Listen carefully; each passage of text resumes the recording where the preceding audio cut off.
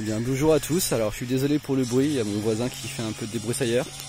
Alors euh, j'ai mis en route euh, mon petit poêle, ça me permet de pouvoir chauffer la piscine. Donc en fait euh, c'est des blocs en, béton cellulaire avec un radiateur, je sais pas si on le voit en dessous. je l'ai fait vraiment super simple avec une bonne visu devant pour pouvoir gérer le feu comme je veux. là je le fais marcher avec du tuya que j'ai fait j'ai mis, euh, que j'ai coupé il n'y a pas longtemps. C'est que du tuyau à mort, donc il est bien bien sec.